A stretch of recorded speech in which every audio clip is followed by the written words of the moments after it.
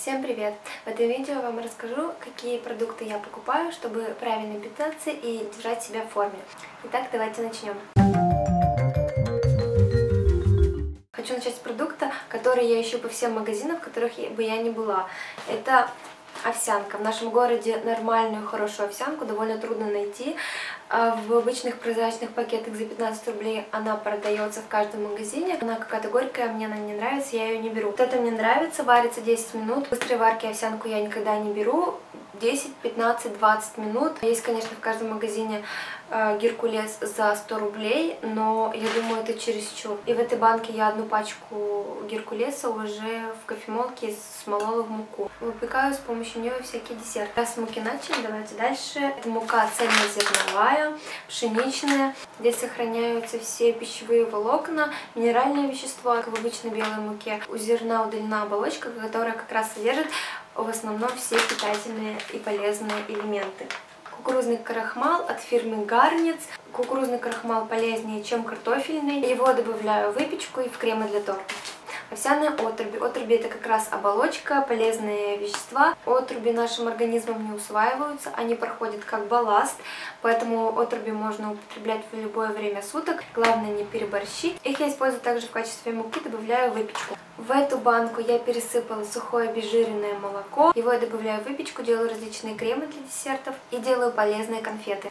Какао, я думаю, много не стоит говорить. В какао содержатся витамины Е, В2, ПП, В1, фолиевая кислота. Какао полезное не Несквик с сахаром, а натуральный какао-порошок. Добавляю и выпечку, делаю глазурь, и конфеты. Кокосовая стружка нужно смотреть на упаковке, чтобы она была без сахара, так как некоторые производители грешат этими, добавляют еще и краситель.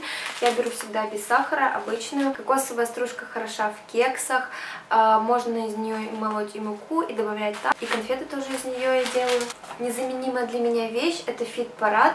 Это натуральный сахарозаменитель, содержит эритрит, сукралозу и стевизоид. Здесь 0 калорий. Если вы захотите подсластить себе чай вечером, творог, йогурт или испечь что-нибудь сладенькое, то вот незаменимая вещь. Далее кэрп. У меня это не обжаренный. Я пробовала обжаренный, но вот эта версия лучше. Он слаще, чем обжаренный, чем хороший кэрп. В нем уже есть сладость, можно не добавлять ни мед, ни сиропы, ни сахар, ни опять же э, фит-парад. Он сам по себе очень сладкий, я из него делаю шоколад, конфеты, добавлять также можно в любую выпечку. В чем преимущество кэрбат какао? Здесь 1% жира, белков 4%, клетчатка 11% и углеводы 44%. Клетчатка – это пищевые волокна, которые, опять же, не усваиваются организмом, я вам говорила про отруби. Карап также не содержит кофеин, у него низкий гликемический индекс, улучшает пищеварение и оказывает антиоксидантное действие. Так что очень советую присмотреться, кто еще не пробовал. И осталось совсем немного. Здесь у меня финики. Финики я очень люблю, но это углеводы, так что злоупотреблять ими не стоит. Можно сделать из них пюре и добавлять выпечку вместо подсластителя.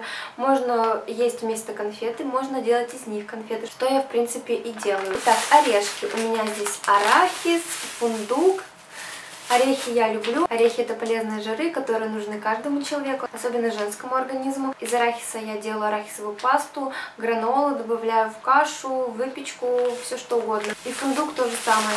Творог мягкий, Савушкин 5%, неважно какая фирма. Не нужно брать обезжиренную молочную продукцию, так как в молочной продукции содержится кальций, а этот витамин жирорастворимый. То есть при низком содержании жира он плохо усваивается нашим организмом, поэтому даже если вы худеете, худеете, обезжиренную молочную продукцию не берите. И последнее, что у меня тут осталось, соус к мясу, называется BBQ соус. Его я купила в магазине спортивного питания. Здесь 0 калорий, то есть 0 белков, 0 углеводов, 0 жиров. Сдумка хорошая и классная, но купила я его давно, а здесь у меня его еще много.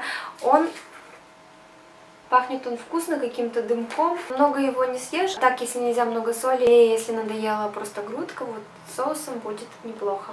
И это было все, что я хотела вам показать. И то, что я вам сейчас показала, есть практически всегда у меня на кухне. Надеюсь, видео было для вас полезным и информативным. Если вы хотите видеть рецепты правильного питания на моем канале, ставьте лайк и пишите в комментариях. Всем спасибо за просмотр. Пока!